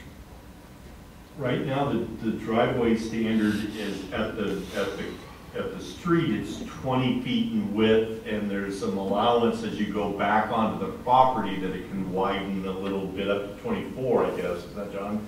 Yeah. But it's, but it's twenty, so twenty, so if you have sixty, you're gonna have twenty of that in driveway. And, and unless you change the standard, or, so if it gets smaller, then you get, you know, the, the smaller area. And what's the separation between driveways? Uh, I want to say it's a couple of feet. um, Is that it? And it, and that's, you know, you end up really with that whole rocky Hmm. situation. Yeah, you're not even getting the full height in a couple feet, so you're, Well, I think, I think it's total four feet. So if, if you have a setback of two feet for the. For the lot line? It might call it out in the standards that you have there, but I think there's a four-foot panel before this, before the weeds. oh, I see what you're saying. Okay. So, and we allow the driveways to be, to go up two feet on the wings, so that gives you a twenty-four foot wide actual driveway on your property. But the bottom of the driveway, the flat part of it though, hmm. is twenty feet, and then the wings go up four feet. Uh, Four, You know, how much space is required for each parking space on the street? roughly twenty feet is So a 60-foot width would give driveway plus two parking spots. generally speaking. Mhm. 50 would be a, It would probably be one, and the reason I say that is because you're gonna have a setback from the driveway to the property line. Mhm. So there's several feet wasted on that side, and you'll have your twenty-foot driveway, and then you'll have the rest of your lot. And so getting, you, if- you know, in an ideal world, you'd have forty feet, that's right. But right? in reality, But the reality is you'd have less, Yeah. less, and so you, you have like one and a half, well, it's really gonna be one. Because Mm-hmm. unless you've got a motorcycle or, And depending Or on. depending how the driveways are spaced, because you could That's pick up right. an every, extra one every so often. yeah, if they're opposite sides, right, Yeah. yeah, and Yeah. paired together, But then you're gonna have. it's possible. You're gonna have the pop-ups, You're right. you're gonna have the hydrants, there's not gonna be parking in Mm-hmm. those, and so you, you start to lose Yeah. stuff here and so where I'm heading is, uh, is there a difference in parking between a 50 and a 60-foot lot, or between a 60 and Oh, yeah. a 70? Yeah. Uh, Dramatic, yeah. Yeah, when you get below sixty and it starts to really, uh, driveways start to impact big, big time. So, I mean, it, you know, if, if you wanna provide flexibility, um, in the lot widths, I think you have to up the standards for how wide a driveway can be. You have to limit the, the width of- the driveways. And they, they try to do that in, in, the- on the Hayden Homes, and so if you go down the street, what street was that? Lou? Carver. Carver, you'll notice, uh, that the first few houses that they built in there on those narrow lots had single-car garages, so the driveways are about twelve or fifteen feet wide. mhm. But those products, they're cute, but they didn't sell. So then they said, oh, well, let's do the two-car garage. And now you end up with, in my opinion, a very unattractive product because it's mostly garage and less parking available. So it just, A front door and a garage. yeah, yeah, I mean, we were, it was a battle, um, with the parking in there, I mean, it still is. I want to hear from Dennis if he has any comments, and then I know Mr. Green does. I have a few. Ken's been patiently waiting, thank I'll you. keep waiting. no And I do want to wrap up in 20 minutes, so Good. now that uh, I've established what we'll be doing. Dennis, I can see where you're coming from. We have a, a double garage, double car garage with, just, I think there's a ten-foot uh, easement across, across the front of all those lots. The PUE, public Yeah. utilities, yeah. Yeah. But that's only a six thousand square foot lot.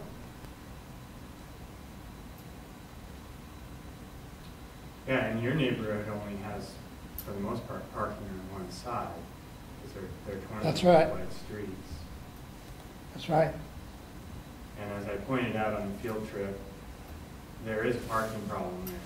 Uh, we get calls all the time, but I, I believe that most, of their parking problem is due to their restrict, their, their self-imposed restrictions in that neighborhood. driveways. They don't allow, well, one, a lot of them don't have driveways, if you have a driveway.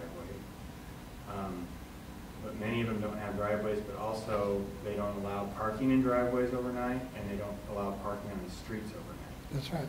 And they only have one, uh, parking lot for the community that actually is not even part of the development because it's on an undeveloped phase.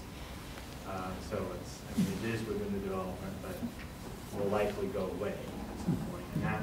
That has- That's a real that has- problem, too. That has what, probably seven to ten cars in it at a Mhm. given time. Um, Or- So, Or sorry. pickups or something. But people have a third vehicle. Mr. Green? Thank you, I'll be brief. So contrasting Alvarado Terrace and Carver Street over in the Homestead subdivision. So Alvarado Terrace, most of those blocks have alleys, and it was built with carriage houses in the back, and I will note that many of those carriage houses now have apartments upstairs, but on Alvarado Terrace, you have a relatively narrow asphalt, you have relatively wide planting strips. Um, You have different lot sizes, on one side of the street, small homes on relatively small lots, on the other side, big mansions on big lots. Um, What struck me on the tour down Carver Street, and I bicycled down that street before, is you have a wide, fairly wide width of impervious surface that doesn't have a lot of transportation demand going on, but also unfortunately is not very effective for storing very many vehicles. So it's a huge waste of space not being used for landscaping and causing more runoff. Um, So it's, it's, in my opinion, a really poor design for a long list of reasons.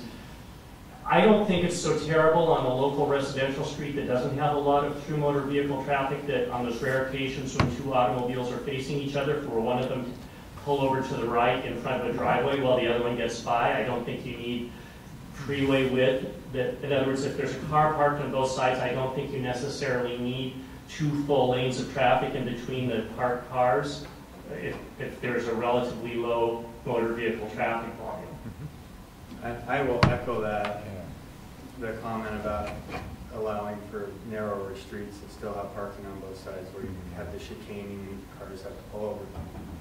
I will caveat that with, you will, the fire department will fight that tooth and nail. Mean, Just, I'm just saying. I'm support, I'll, I'll go down that road and battle it with you if you want, but mm-hmm. Yeah, we have also felt at times Yeah. that the fire department directs the width of our streets. So I, I agree that is going to be a maybe insurmountable obstacle. And- and And, Yeah. sorry, and the point about a lot of wasted impervious, uh, an expensive street that's not put to much use at all is, is very valid. And I appreciate you raising that point. Sorry. Um, also, I'd I'd point out the, the Alvarado Terrace, the, the ones that don't have alley access, they, they do not have two-car garages on the front of those homes. They're, if they have a driveway at all, it's a, it's probably twelve feet wide, and it may even be shared. It goes in between two homes and goes back to a garage or a carriage house that's in the backyard, not, but, you know, those are, those are products that, uh, are not being produced and mass marketed in our community. I'll, I'll share my two cents and I'll, I'll turn it over to Ken, who will now correct me when I'm wrong, right? So, I, I like the idea of having some flexibility in the lot sizes in a subdivision. I, thi- I think that uh, the the cookie cutter aspect is not something that we're shooting for. Hmm. And having the lot size flexibility will get away from that stencil, uh, development. I, I don't know what those thresholds are, you know, twenty percent, twenty-five percent. Uh, But I do like the general direction of that, and you think, would you be leaving it up to the planning commission then to decide? I think on that we do need to establish uh, a minimum, or, or I guess a maximum of what those number of lots would be and a minimum lot size. Uh, I think that needs to be established for, for guidance for developers, not to, not to leave that up. Because that would be a standard then that would say, when you're designing your subdivision, you have to do this. Yeah, so I'm, I would be looking Yeah. for help from this panel to determine what those appropriate. And staff too, absolutely, I mean, but yeah, I think we need to, we need to establish that as part of our responsibility. Um, And now, I'm gonna upset Ken, I don't have a a passion against really small lots. I, I will not choose to live there myself. And I, I, I like the idea, at least, of letting the free market decide what a sellable lot is. I, I want to be sensitive to um, affordable housing. I know that smaller lot size, at least in part, contributes to that availability. Um, I, I don't want to incorporate that in, that small um, 3,000 square foot lot size in a greater subdivision that has R sixty or R72 minimum. I don't want to intermix that. I don't think that's appropriate. But having maybe a fuller development of very small lots, I, I could get there. All right, that, that's my two cents. I- Ken, I'm set me actually on straight. the same line. However, I'm going to throw another caveat into something else we had planned on talking tonight, was affordable housing. I believe if you're gonna play with this three, four thousand square foot lot size, it ought to be mandated. They only are used in affordable housing situations. Hmm. Tiny houses is a great example. You could have a three thousand square foot lot and you'd have a nice one bedroom, two bathroom, one bedroom, one bathroom, or two bedroom, one bathroom house. Very easy. If anybody's looked at, at tiny house models, sometimes they even have one of the bedrooms upstairs. And you, you kind of walk behind the kitchen cabinets and you walk up the stairs and you got a whole master's suite up there. And it's kind of neat looking, you know? So to me, only time you drip, drop below the 6,000 square foot is for affordable housing. And I also noticed in our, our little thing here, we also had a little comment about mobile homes. And I think that the mobile home parks ought to be allowed to go below that same standard, even if they're on found, permanent foundations. Um, I don't remember the names of the streets, they're on the corner of Lamperti and College, College um, Avenue, there's that whole section of mob- mobile homes. There's no reason why a mobile home has to always have 6,000 square foot. Okay, affordable housing, that's a really neat idea. But when we're not talking about affordable housing, and I'd like the market to kind of do its own thing, but unfortunately, we get into these large corporations that all they do is they want to go to the 3,600 square foot lot so they can build a three-story house and, and charge somebody X amount of dollars for a super tiny lot. Eh, You know, and I, I hate to say it, but business is about money. They're going to make money the best way they possibly can. And the smaller they get the lots, the better. But John, what did you call that, uh, when they just built a little house behind for, uh, they used to call them mother-in-law houses. Yeah. Auxiliary, Yeah. Yeah, ADU. You want to have it large enough for an Yeah. accessory unit. Um, We just mentioned here about uh, uh, two uh, car garages. You give a 5,000 square foot lot, you're not going to put a two-car garage on there fairly ca- easily. Not only that, but not only you're not going to put a two-car garage, but you're, if you get one car on the street, you're going to be lucky. You know, unless you got a smart car, then it's going to fit. So, you know, we do need a minimum front wattage size. I'm sorry, but we need on a regular planning section, even a 6,000 square foot lot is small. Consider the average four-bedroom, two-bathroom house that's 3,200 square foot. It's half a lot. You can't put that on a 3,600 square foot lot. You're not going to put it on a 6,000 square foot lot very easily either, because there's just not enough room, unless, of course, you go a basement and, and up. But you know what, I'm sorry, today's economy, uh, today's market, people don't want basements. They don't want upstairs either. They want single-level houses. So we got to be a, a little bit flexible in every direction instead of saying we're going to have a set, just a set, a, set, a, a lot size of 6,000 square feet, we also need to say we're going to have it have no less than a 60 foot frontage road or a front on the road as well, because you need that space. I'd love to see us go to seven, 70 feet minimum. Um, and I would like to see them say to say another minimum if you're going to have a triple car garage. So I could put three car garage on a, on a 60 foot thing, but like you said, you're going to hide the house. You know, all you're going to see is garage. So go ahead and I can go. Just one little thing to tack onto that. It seems like maybe we could, we could uh, tie a lot with the number, of, um, or with the driveway.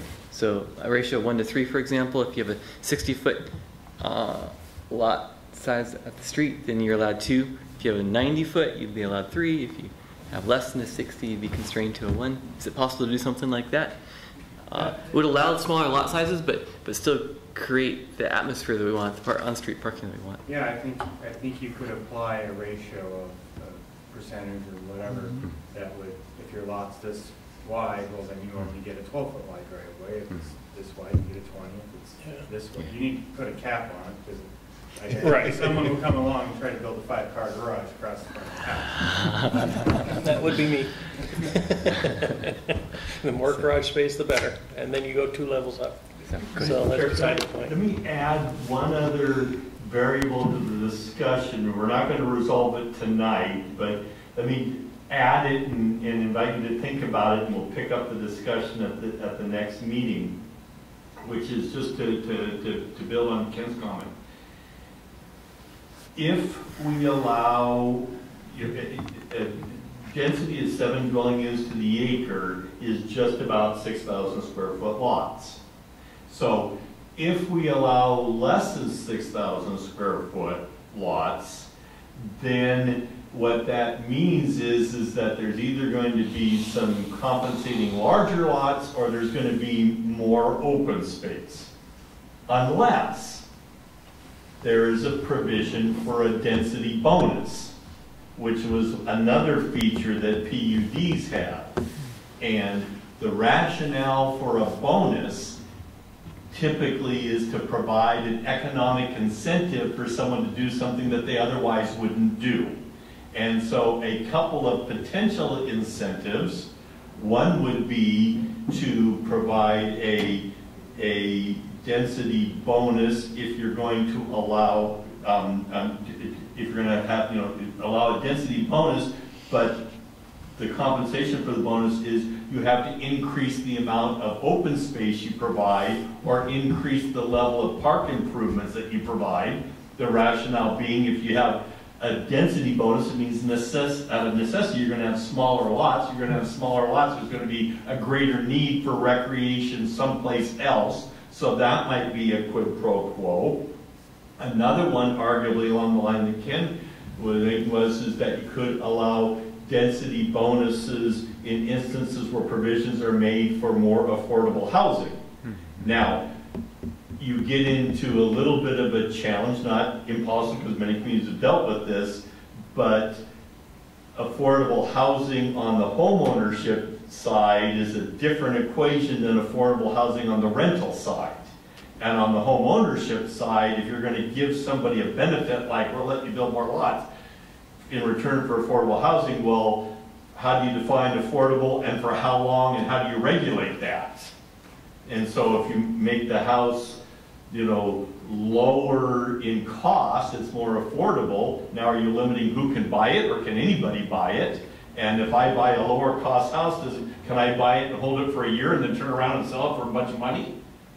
So there's, so there are some trade-offs in there, but those are potentially two areas. Some communities have said, well, we'll give density bonuses for, um, increased provisions for public arts, for enhanced pedestrian amenities, uh, for greener development, so you you can kind of see some, you know, the fringes, but parks or affordable housing might be a couple. So one of the things to thi- add into this, should there be provisions for a density bonus?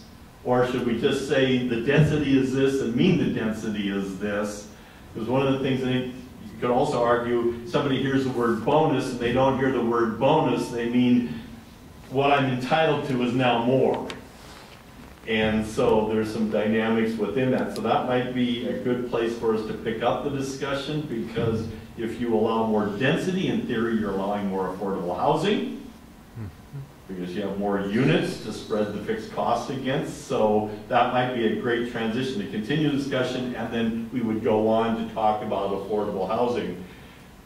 Just I think with this discussion now, you can see what a little bit of our rationale behind in talking about short plats, maybe allowing some greater flexibility and not saying, for instance, lots have to be 6,000 square foot. Since we know there's not going to be, you know, more than four or more than nine, maybe that's a good way of allowing some flexibility and allowing, as long as the density's set, this lot's bigger, this one's smaller, you have some clusters or some shared open space or some cottage type developments, there's a number of different options you can, you can have there. So we'll, we'll keep down the path and be thinking about affordable housing. But one of the things that I heard you say in a previous discussion was you also wanted to talk about strategies for improving the quality of the housing and, and the, the, the quality of development in the community. And so that's why we wanted to kind of start with subdivisions because that's the most significant way of potentially doing that. So we've got, I think, some pretty good guidance out of to- tonight's discussion, but we obviously will need to continue at the next meeting, which does bring up one logistical question, the third Tuesday in November. Is right before Thanksgiving. is right before Thanksgiving, and we need to check to make sure that we would have enough of you here to have a meeting.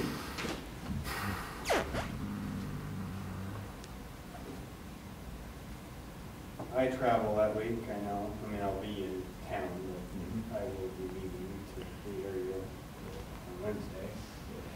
Uh, So that's And and I could be here, so that would be, My only issue is I have surgery on the second. So the chances of me being up and around that quick, I, I'm not gonna guarantee. I'll be in a cast a minimum of six weeks.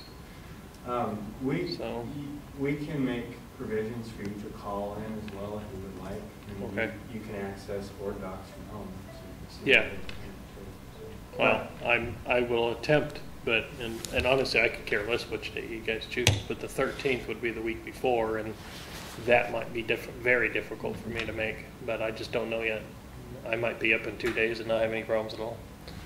I don't So know. the thirteenth is not an option because we have a council meeting that night. Uh, well, they don't have to have a meeting. So, yeah, I mean, that's an option. We, we don't have to have a meeting, I mean, it- Brian? Um, but then we should make sure. anything's fine. Uh, December eighteenth would be the next, which, do we have a similar problem with Christmas. approximately Christmas? Yeah, it's getting close. uh, the Christmas Eve's the Monday, the twenty-fourth.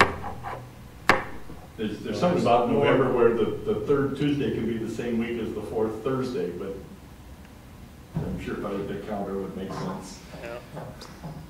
Generally speaking, it just looks like a thumbs up or Yeah. on Twentieth works for me. the twentieth? And for Brian? Twentieth? Twentieth of November? I think so, yeah. Dennis? Sounds like twentieth. Great, I just. I just have one comment, just in case I don't get to be here, which I probably will on the twentieth, but even so, we have already decided as a planning council to try and keep everything that we do fairly simple. So even in this process, I think the KISS world really needs to be very important to us. We don't want to get so egregious on these regulations that they're hard to get through. You know, let's just make a basic uh, lot size rec- recommendation and, and call it quits. You know, we put too many variables in it and it's just going to get ridiculous. So what I'm hearing is you're not in favor of having the flexibility of different lot sizes within a certain density?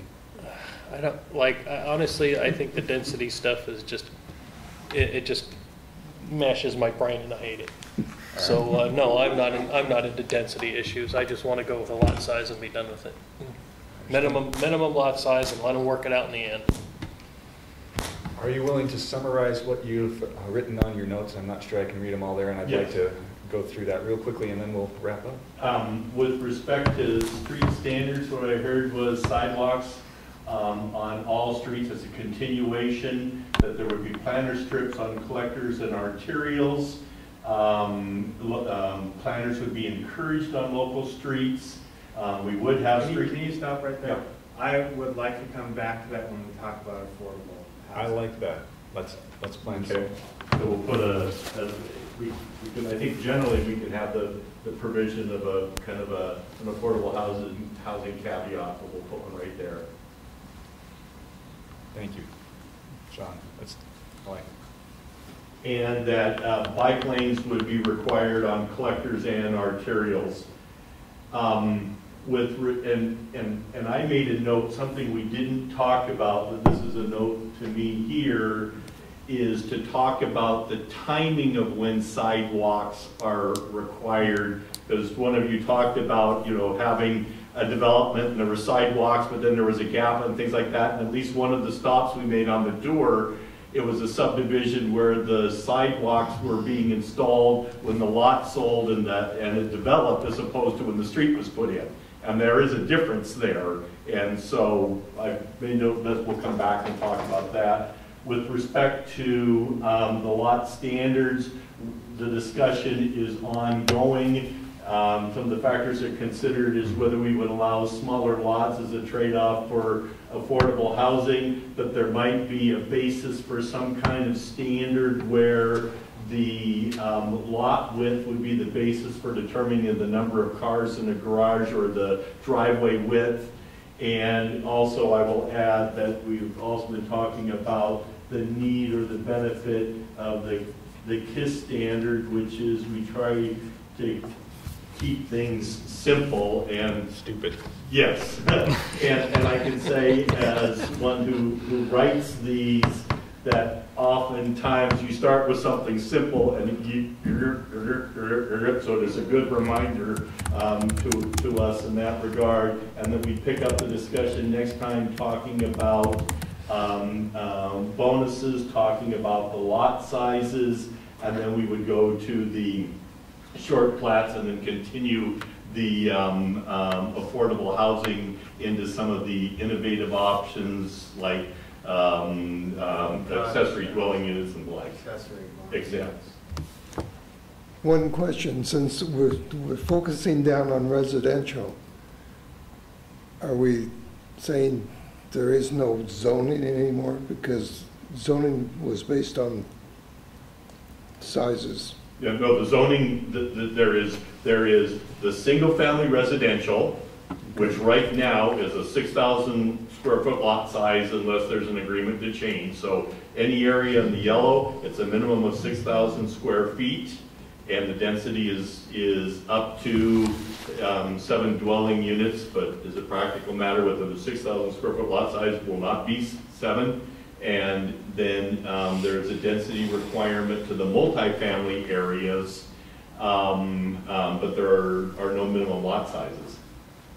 Because you potentially have, you know, much different configurations. So no, the zoning is- is definitely in place and remains in place. But only for, for residential, in terms of subdivisions. Are you thinking R sixty, R seventy-two, R ninety-six? Yeah, Yeah, no, there's, there, there's a single-family zone, okay, and right now, the standard is six thousand square foot lot. okay. You have to have at least that. You can have more, but you have to have at least six thousand. And part of the discussion would be, would there be any circumstances in- under which you'd entertain anything less than a six thousand square foot lot? The simplest standard would be six thousand is the minimum, and that's the minimum. Lonnie, do you, Walla Walla has gone to one residential zone as well, or they're going to it. Do you know what their minimum lot size is? No, I do not. And I don't know that that action has been taken yet. I do know they are trying to go that yes. Okay. Yeah, to eliminate, I thought they went, I thought they, when they adopted the comprehensive plan,